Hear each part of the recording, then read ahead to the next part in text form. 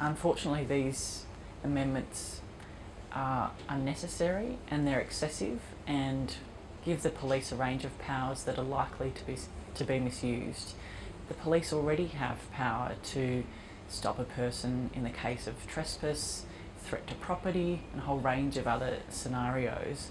There's no need for the police to have additional powers, which now, because of their vague nature, actually mean that there's more chance for people's fundamental human right to protest and express their views to be threatened. And I think one of the real concerns is how vague some of these powers are. So not only does it make it harder for people to know where they stand, which I think is a really important part of a functioning democracy, is that you know how the law should work in any given situation. But it means that, for instance, in a protest situation, the police can move in and if they suspect anyone of committing an offence in the past 12 hours, um, they can issue you with a direction to move you on.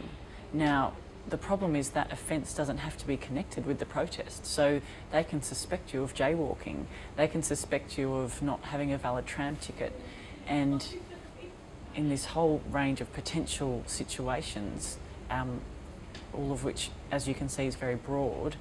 Um, we've we've got the the police having powers to now move you on and subject you to a $700 fine for failing to comply, and then ultimately, if if you're subject to, to multiple move on directions and you fail to comply, uh, the police can go to the court and apply for an exclusion order, and breach of that exclusion order um, can result in up to two years' prison. So these are hugely draconian and very disturbing powers and penalties that we have for situations which impact on people's ability to freely express their views. This isn't just general speech, which obviously is important. You know, it's important to be able to go sh go shopping or go and catch a tram somewhere and go to the footy, but human rights law recognises that political speech, political expression is even more highly protected, and we've got these laws that just drive a truck through those protections. It's really very concerning. No, I mean, the, the laws used to have a specific protection and exemption from the move on powers for political forms of expression and protest. So the law used to recognise the importance of political speech and political um, forms of expression and gathering together in groups. But that specific exemption has been removed. So, whereas our laws used to strike a balance between the competing rights and recognising the special place that political speech has in our democratic framework, um, we've now got laws that go far too far in the other direction and don't adequately respect human rights. So it's very concerning that we have an Attorney General that says that these laws are justified. The case simply hasn't been made. According no to safeguards. Us. Well, we used to have a specific safeguard, and that's been removed. So um, combined with the fact that we don't think these laws are actually necessary, the government hasn't made the case. I think the whole package is very, very concerning. Well, I mean, I think it's really for the Victorian government to explain how these amendments are justified in a society that we hope to keep as free and democratic.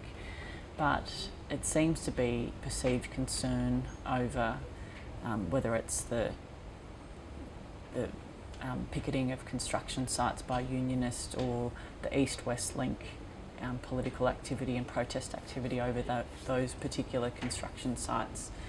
Um, there's certainly, perhaps in some quarters, a perception that our laws don't go far enough, but there's this lack of understanding, there's a disconnect between what the government says the law is and what it actually is. We already have um, laws that enable police to move in and move people on if there's a breach of peace that's threatened or if there's a threat to property. So we don't need these additional powers and these additional threats to our fundamental human rights. I think we can certainly say there's a growing creep in Australia towards threats to democratic freedoms. So you only have to look at the G20 legislation passed in Queensland that has a whole range of disturbing effects in terms of restricting the movement and ability to peacefully assembly, peacefully assemble and protest um, the G20 forums that are being held in Queensland.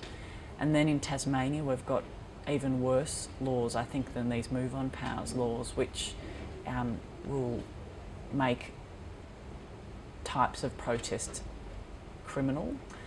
Um, so there's some really disturbing trends in Australia, as well as the silencing of NGOs. So we've seen the government, governments, state governments, and the federal government place further restrictions on the ability for community legal centres, for example, to advocate uh, and actually get involved in the political process of law reform and lobbying and policy reform.